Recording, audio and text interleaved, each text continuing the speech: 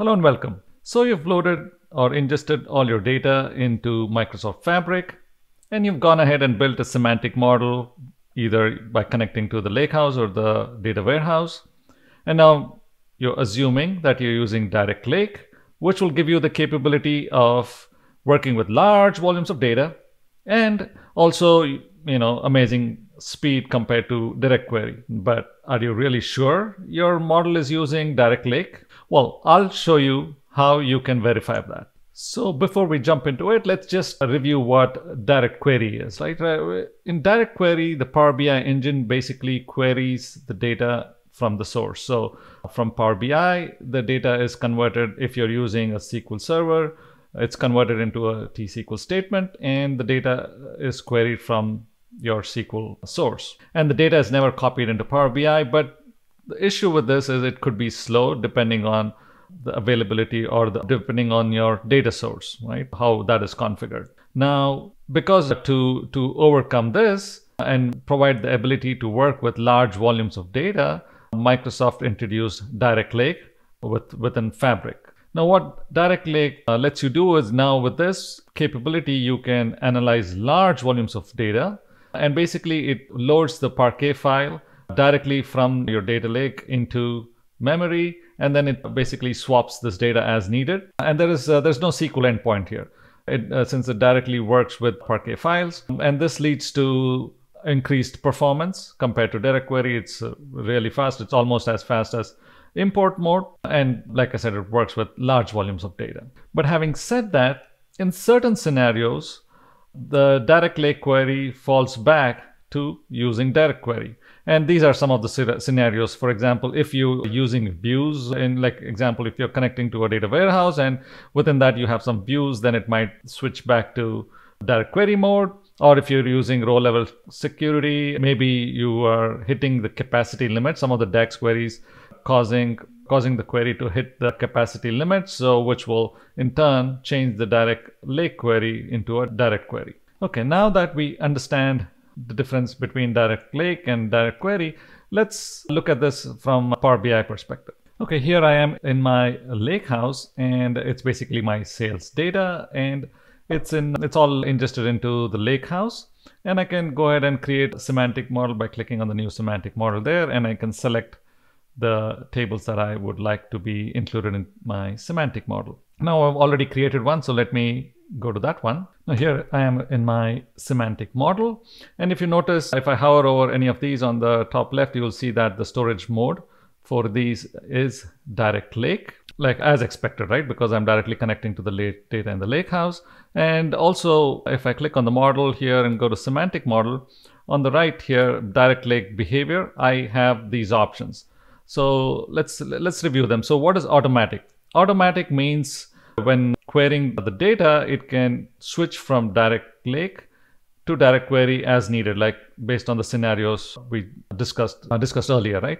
And then direct lake only is when like the name says it uses direct lake only and for certain scenario let's say you are connecting to some, some views or using using row level security and you pick if you pick direct lake only you will probably end up with getting an error message and of course direct query only uses direct query all the time so it skips direct lake you could probably use that to do some testing to make sure that if your if your report or ever switches to direct query mode to check how it would perform, right? Okay. So having said this, now what I'm going to do is I'm going to connect to this model from my Power BI desktop. Okay, now I am in the Power BI desktop, which is direct lake query connection to the model we just I just showed you. And if I go to the relationship section here, you can see by if I select any of these tables under advanced, it does say import, but it's grayed out. I think that's that's a bug. It hopefully will be fixed soon, but it is direct lake. So how do I know? I can go back here and then I can enable performance analyzer. And then let's say I, I start recording and then refresh all the visuals. When you refresh all the visuals and let me expand a few of them, you see that there is no direct query here. It's uh, it, it is just using DAX query visual display. So this is one way of knowing that we are not using direct query for any of the visuals. Now, to validate this, I'm going to create a visual that uses direct query. And to do that, I'm going to add a view to this to this model because we already know that if if a view is added, then direct lake may not be used. It might switch to direct query mode. So let's try that out. So I'm back in my model and I'm going to edit tables. And here, if I select this now, I'm, I'm able to uh, select views. So it'll show some views.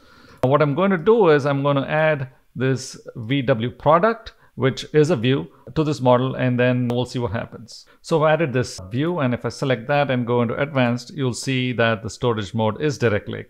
And it will be direct lake until it's used in a visual or some kind of queries performed against this view. So we're, uh, we're back with within Power BI desktop now, which again, like it's the same model that we used earlier, which connects using direct lake to the model we just created.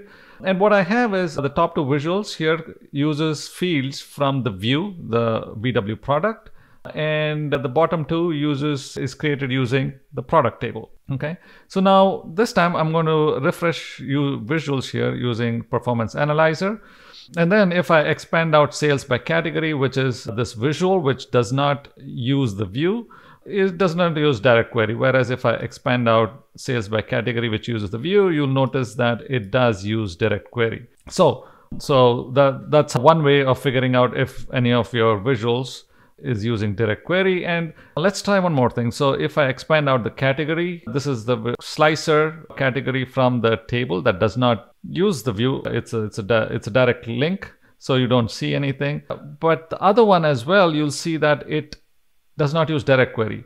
That's because it's just rendering this at the high level. But once I select this, now it does the query. And if I expand out this new section here, you'll see that this uses direct query. So initial rendering, it did not use a direct query, but once it had to select the values for the slicer, it did use direct query. So that's that's one way of knowing if any of your visuals is using direct query and it's not using direct lake mode. Now I have another way of doing this using the profiler. And here I am in the SQL profiler, which, which I'm connecting to this desktop model as analysis services model. And in the event selection under query processing, I have selected direct query begin and end, and these four VertiPaq events. Now, as I interact with the visuals, here I'm interacting with the ones with the view, you will notice that, uh, that you'll see the direct query begin and end in the profiler. So if, if you have direct query begin and end events, that means